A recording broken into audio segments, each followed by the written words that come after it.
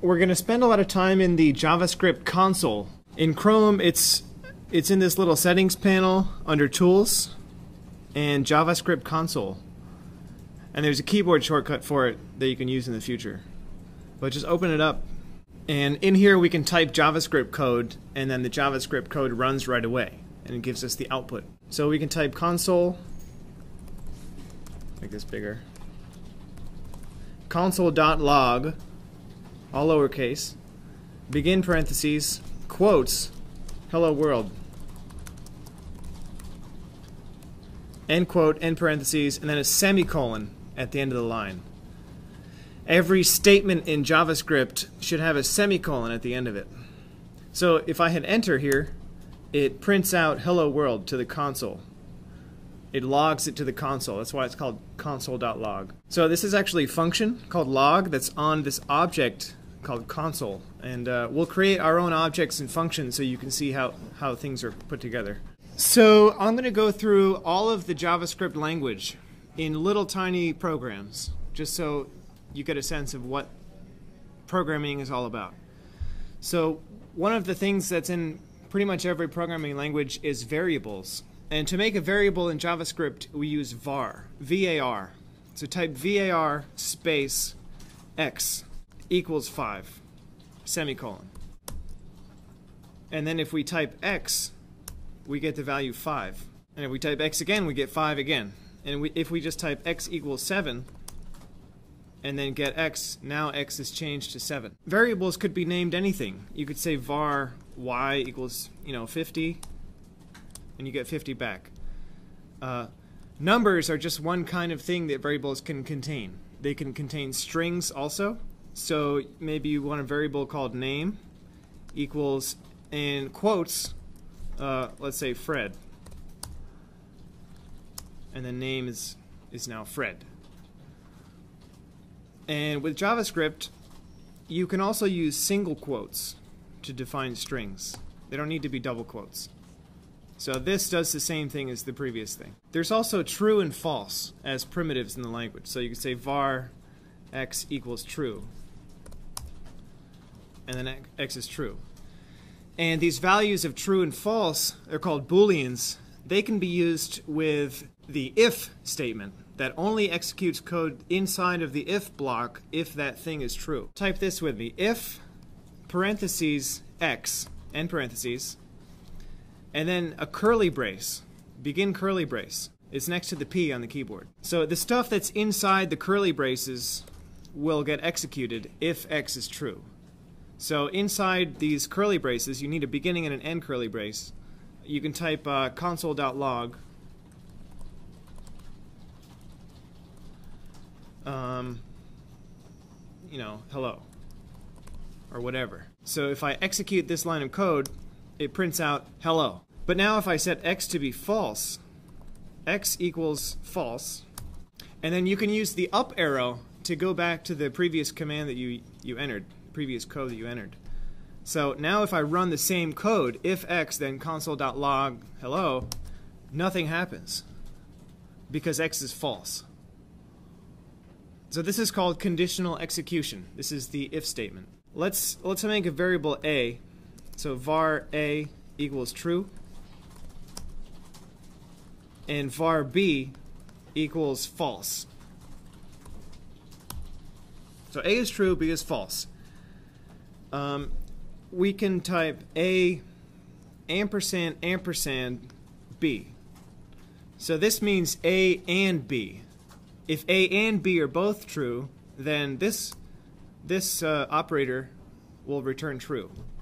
So A is true, B is false. So if we set B to be false, uh, true, if we set B to be true, now they're both true, and now if we execute A and B, we get true.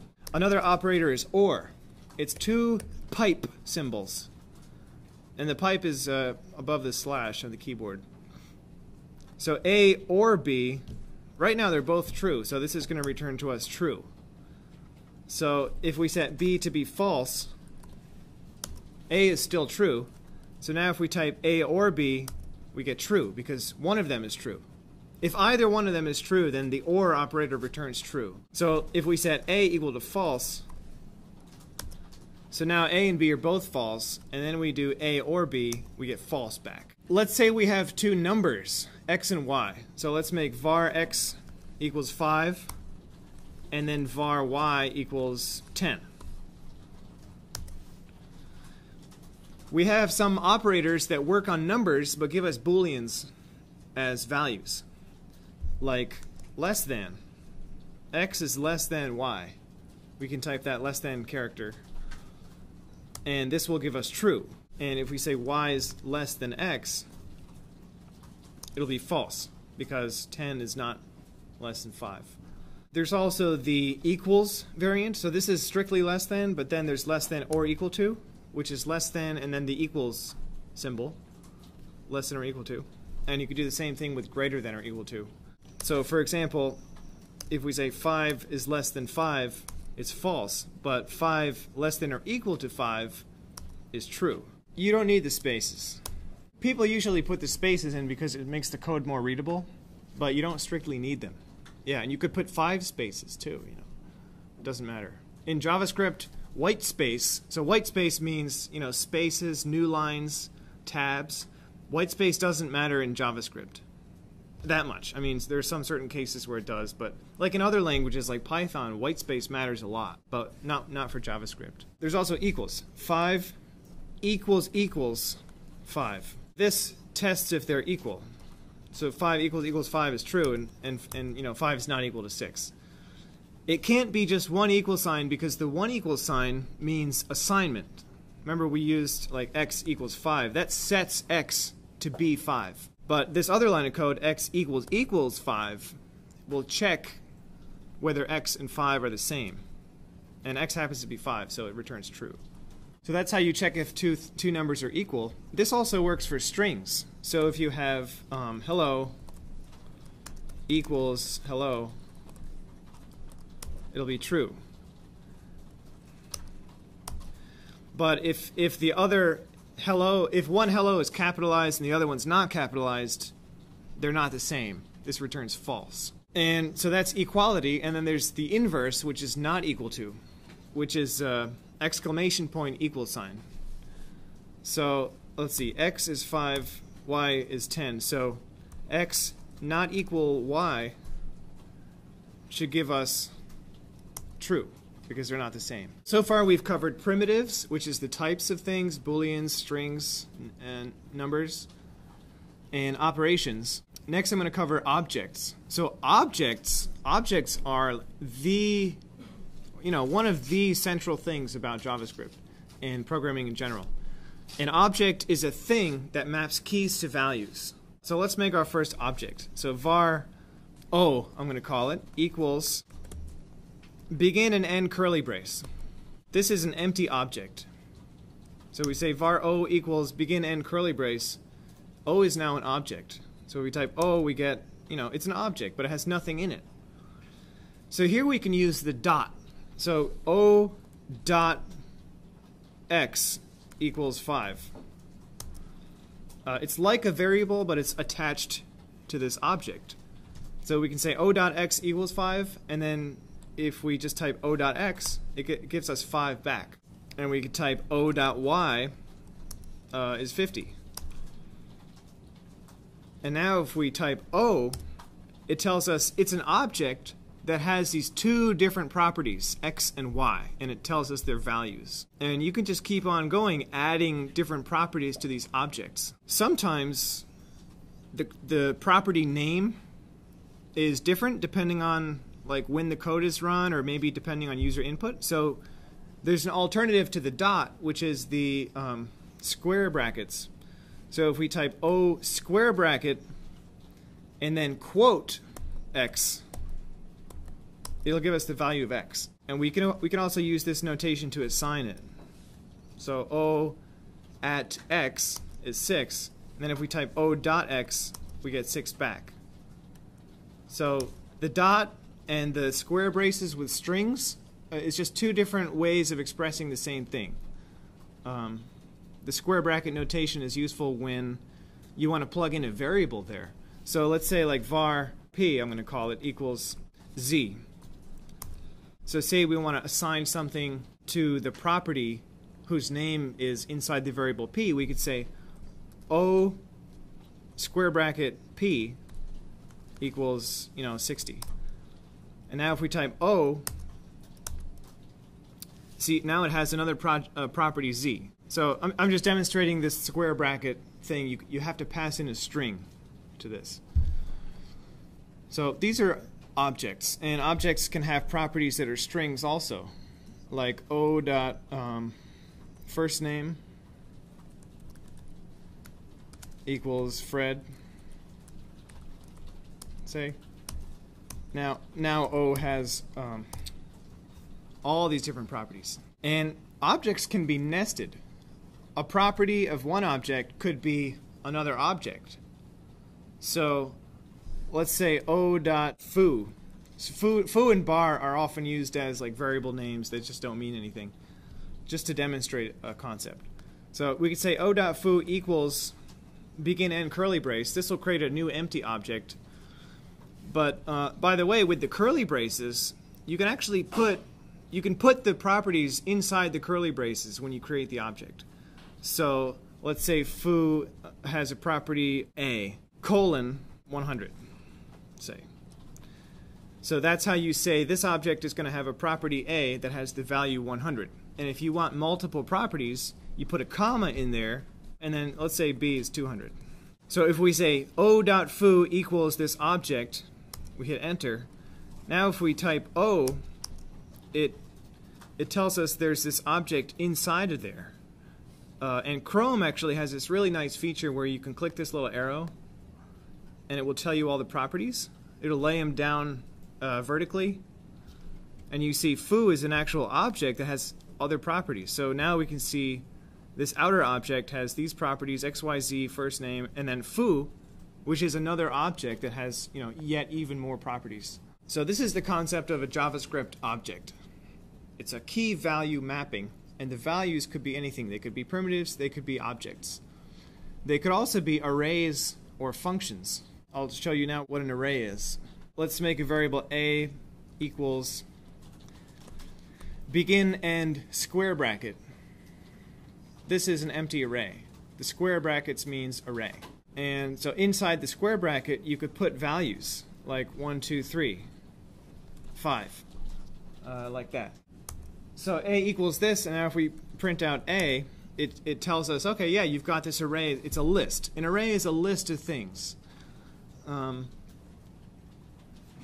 and there are a lot of different ways we can use arrays. One thing we can do is get out a value at a particular location, a particular address within the array. So the it, it's called an index. So the indices of an array start at zero. So a at the index zero would be one, and a at index one would be the value two. So let's say we want to get the third thing in out of there. We want to know what the value is. That would be a square bracket 2. Because remember, the, the index starts at 0. So 0, 1, 2 should give us 3 back, and it does. And we can also use this square bracket notation to assign a new number. Let's say 500. So now the, the element at index 2 of the array A contains the value 500. So now if we type A, it says 1, 2, 500, 5. See that 3 has been replaced by 500. And another thing we can do is add values onto the end of an array using the push function of arrays. So we can say a dot push and then begin and end parentheses and then a semicolon.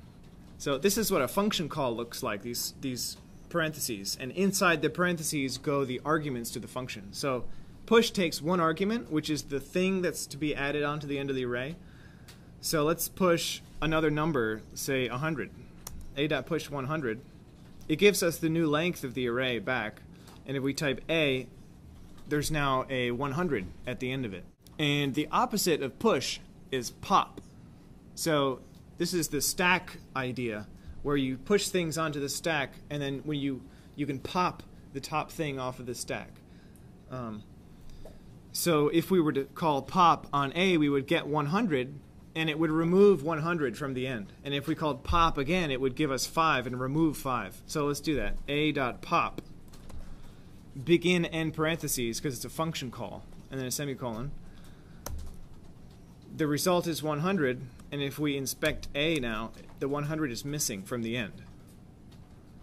And if we call a dot pop again, now it gives us 5 and the 5 is missing from the end of the array. So we could just pop, you know, until it's gone, until there's nothing left. And it says undefined, and now A is empty. We've popped everything off of our array. array. So that's arrays in a nutshell. So I'll move on to functions. Let's write our first function. A function is a kind of value, just like primitives, arrays, and objects. So you can assign a function to a variable. So let's say var add we're gonna add, write a we're gonna write a function that adds two numbers together and gives you the result back. So var add equals function begin and end parentheses and then right after those parentheses begin and end curly brace. This is the gen general uh, general form of a function declaration and then, and then a semicolon after that. This function does nothing right now, but it is a function. Um, so we wanted to add two numbers. Let's call those numbers a and b. So inside those parentheses, type a comma b, like that. And now the code that we write inside the curly braces has access to those uh, arguments, they're called, a and b. They're, they're much like variables, but they only exist inside of those curly braces for the function. So um, functions can be called, and when you call a function, you pass it these parameters that are arguments.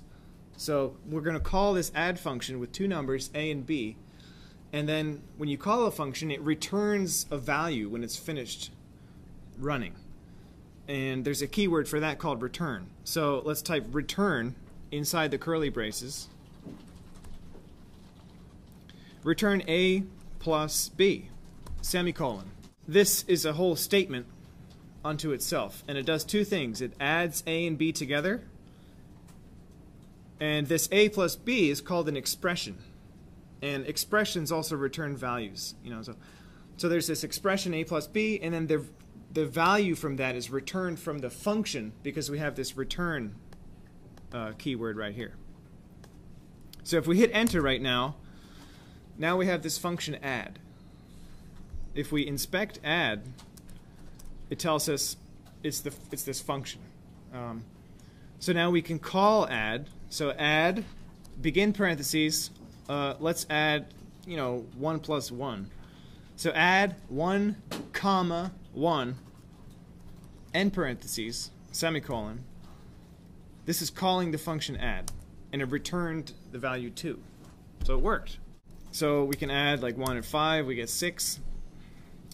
Uh, one thing about these function calls is the things inside the function call, these 1 and 5, could be expressions themselves. So you can add 1 and 1 plus 1. You know, you can put that 1 plus 1 right in there in that argument. So now it adds all that stuff and you get 3. Um, you can also call functions from within this space of the arguments. Like, for example, add um, 5 and 5. So check out what this is doing. It's going to call the function add 5 and 5, and it's going to use the value that was returned from that function call as an argument to the outer function call to add. So it's going to add 5 and 5 and get 10, and then it's going to add 10 and 1 and get 11, and it worked. This is the basic concept of a function. The one last thing that's sort of fundamental that I want to cover is uh, loops. So loops can do something a bunch of times. So let's say we wanted to count from 1 to 10. Uh, print out all the numbers from 1 to 10. So first of all, you know, we can make a variable i, set that equal to 0, and then we can type console.log uh, begin parentheses i end parentheses semicolon So this will log the value of the variable i. So if we if we execute this, it says 0. i is 0. It only does it once. But we can do it 10 times if we want using this construct called for loop. And it's a little bit complicated, but once you see it a bunch, it'll become sort of natural. Uh, it looks like this. For begin parentheses i equals 0 colon, uh, semicolon so this i equals 0 is the initialization part. This thing gets executed once. Uh, semicolon. And then i is less than 10. Semicolon. So this middle expression is, uh, is a check that the code uses uh, if it should keep going or not. So every time through the loop it checks, is i less than 10? If yes, then it does the loop again. And if not, then it stops. So this gets this check gets executed every time through the loop. And then there's one last part, uh, i plus plus. Uh, what that really means is i equals i plus 1. And then begin and end curly braces. So for i equals 0, semicolon, i is great i i is less than 10 semicolon. I equals i plus 1 end parentheses. So that i equals i plus 1 gets executed every time the content of the loop uh, is finished. So that adds 1 to i. So i is going to get added to you know until until i reaches 10 and then it's going to stop uh, but inside these curly braces let's add what we had before console.log i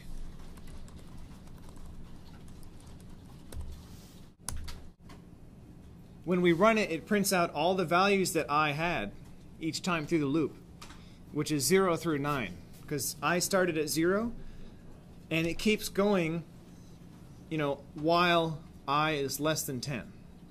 And as soon as i is not less than 10, in other words, when i gets to 10, it stops. So if we wanted to count, you know, 1 through 10, we would have to console.log i plus 1. You know, and then it gives us 1, 2, 3, 4, 5, 6, 7, 8, 9, 10. So this is a for loop.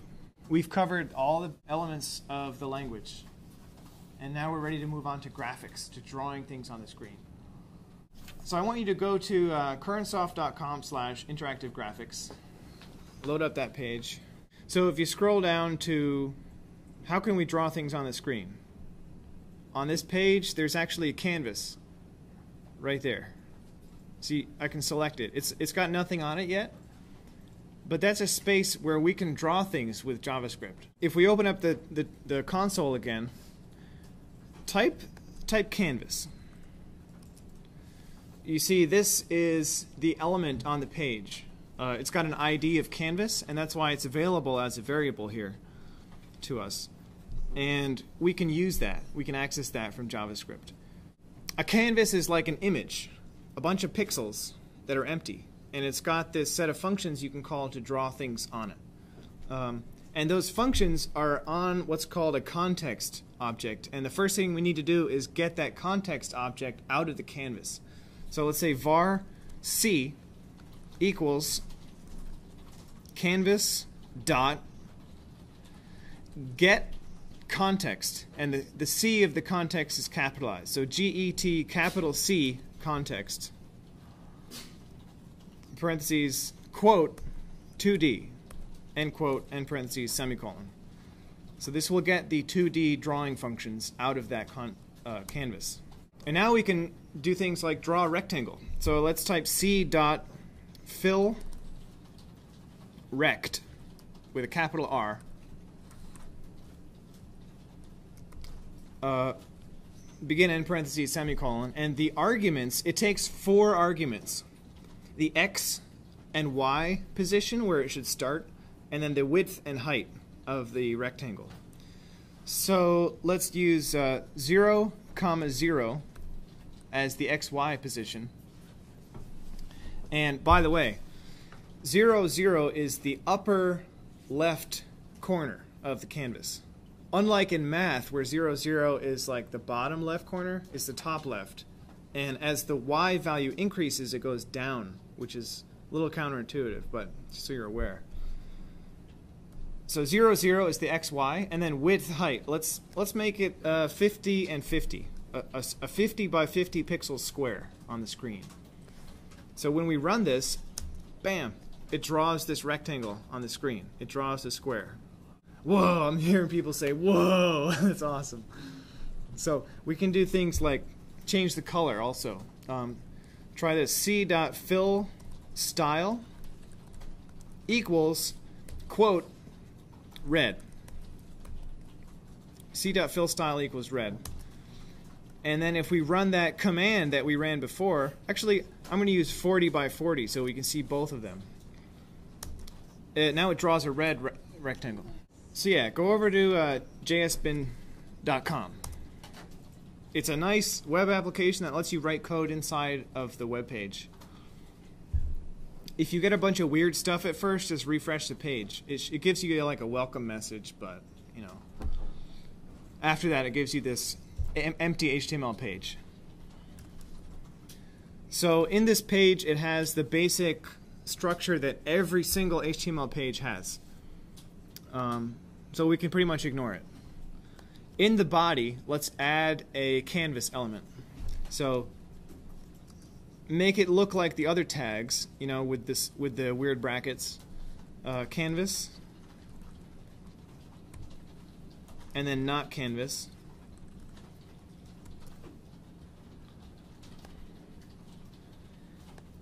And then uh, we should give the canvas an ID. So these are tags, and you can give tags attributes. So let's give it an ID attribute. So ID equals, quote, my canvas, end quote. And then after the canvas tag, inside the body, let's add a script tag. That's where our JavaScript can go like this. Script and then not script.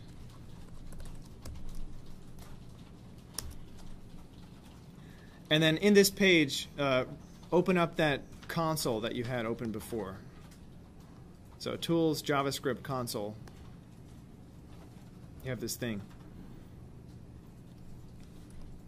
So it's it it uh, it re-executes the code every time you type something. So I think that's why it has gives us these errors. You can clear the console if you if you want by right clicking. Um, so let's just sure, make sure the script is running. Uh, let's type console.log hello. Okay, it works.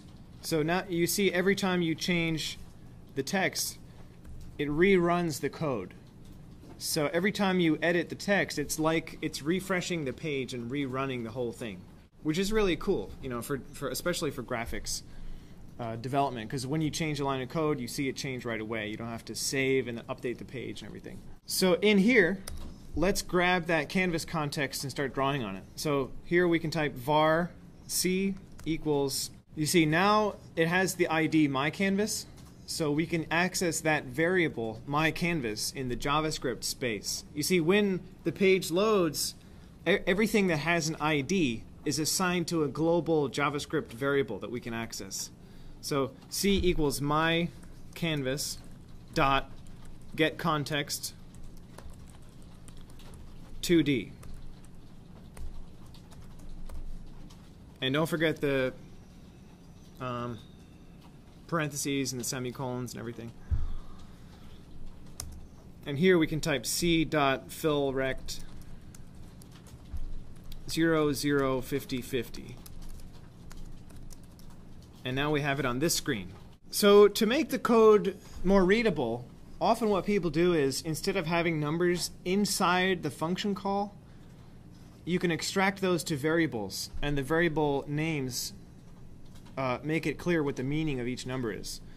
So let's do that. Let's make a var x equals uh, 0, var y equals 0, var width equals 50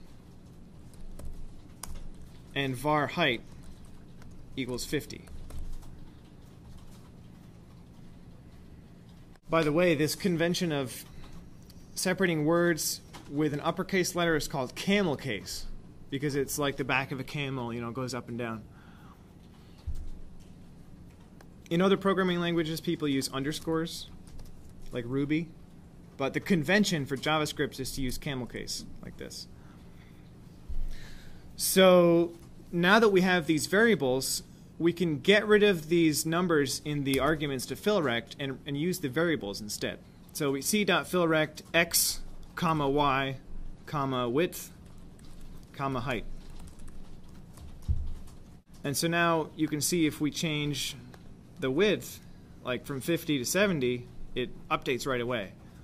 Um, and in my opinion, this code is more readable because you know what each number means, as opposed to having just a list of numbers. What we did right now is called refactoring. Refactoring is changing around the code so it's more clear or more well organized, uh, but it doesn't change the actual behavior of the code. And when you write a lot of code, you have to stop and refactor a lot because otherwise the code just gets all messy and you know unreasonable, not comprehensible. So let's use some knowledge. Oh, first of all, I want to show you that uh, this my canvas object, we can get the width and height of the actual canvas on the page. So if we set width equals to my canvas, and don't forget to capitalize the C, my canvas dot width and my canvas dot height. So now we can see the whole size of the canvas. So why is the canvas this particular size? Well, in the HTML, we didn't specify any size for it, so it just got this default size, which is, I don't know, like 100 by 300 or something. But we can set the size ourselves in the canvas tag. So right next to the ID equals my canvas, you can type uh, width equals quotes. Um, I'll make it 300 and height equals 300 also.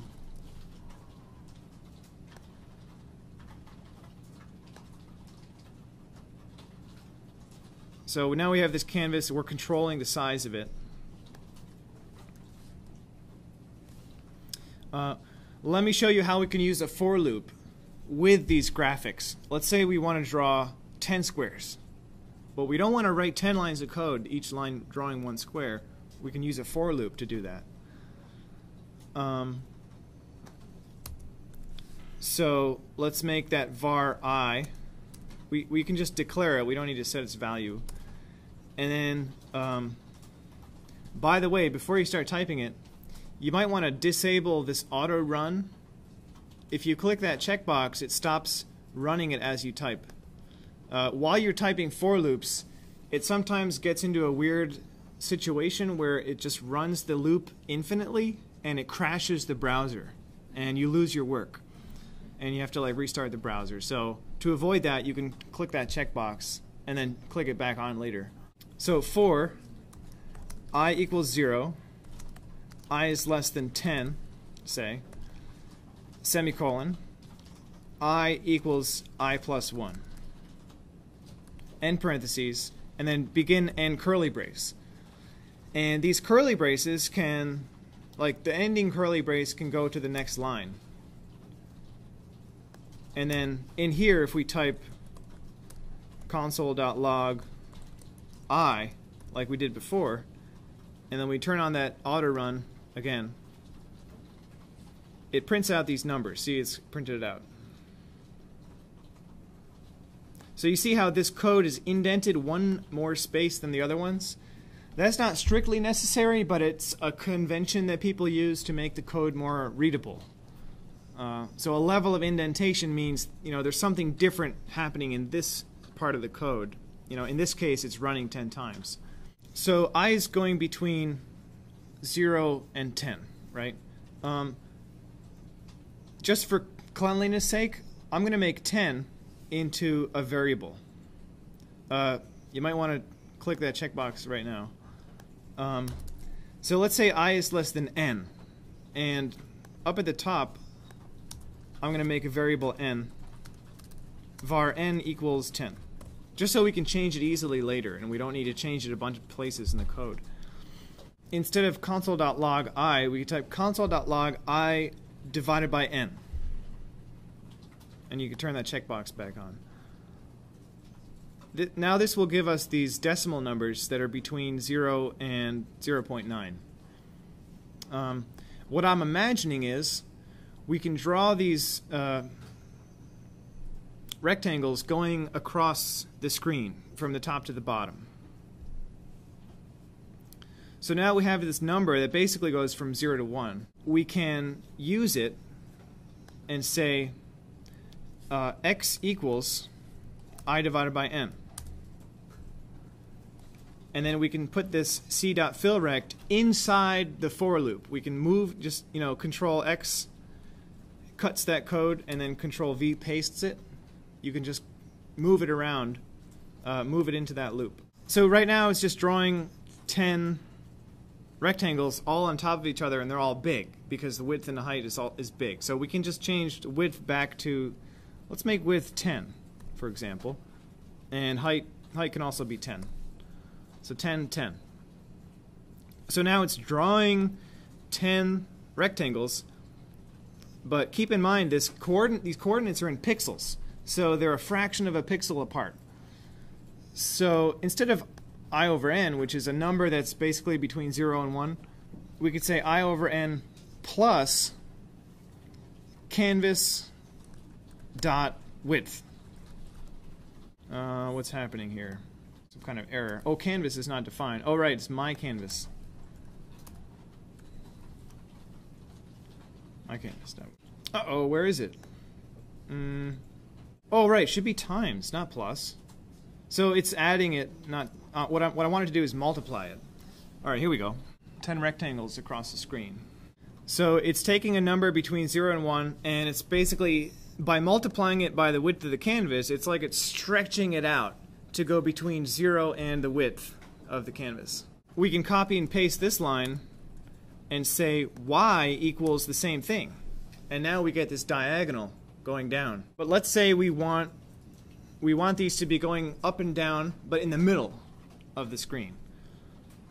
So we can set the the x to be so we can delete i over n. It could be my canvas dot width divided by two. That's that gives you the center of the screen, the center of the canvas. So now we've got them going up and down. So this for loop. Mm, and the variable i, we can put this in a function. Let's say var redraw equals function begin curly brace and end curly brace, and then we can indent all this stuff. And then there's a JavaScript function called setInterval, which is a function that takes as, as input another function and a time value, and it calls that function over and over and over again. So we can call set interval begin end parentheses. The first argument to set interval can be the redraw function. And the second one can be, say, uh, 16. 16 milliseconds. So the display updates 60 times a second and one second divided by 60 is approximately 16 milliseconds. So this is this is we're getting into animation here. So let's make a variable called time outside outside the function var time equals 0 and let's say x equals my canvas dot width over 2 plus time so it's staying static right now because time is not changing. Time is staying at zero. But if outside of the for loop, you know, after the for loop, we can say time equals time plus uh, 0.1, or time plus 1, let's say. So now we see it's going across the screen. It stays there because we're not clearing the canvas. Uh, every time we redraw, we can clear the canvas to actually do animation. It's just redrawing it on top of, you know, drawing and drawing and drawing. It has to clear every time in order to really do animation. And the function for that is c.clearRect camel case again. Zero zero. Uh, my.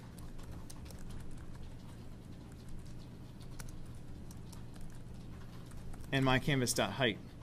So now it's clearing the the background every time, and it's just updating these.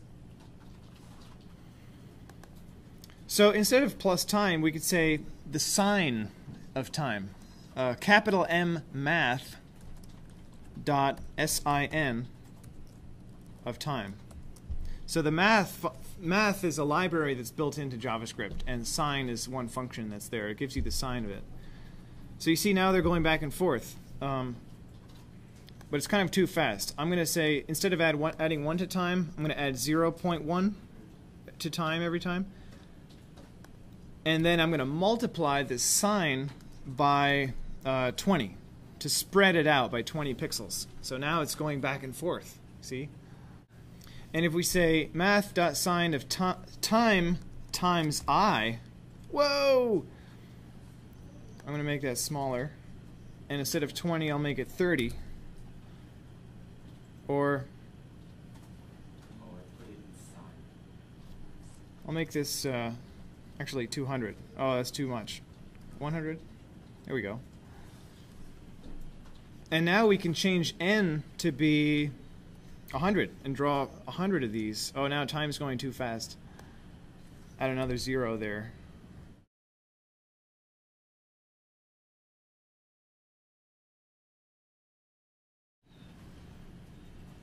Um, that's it. There we go.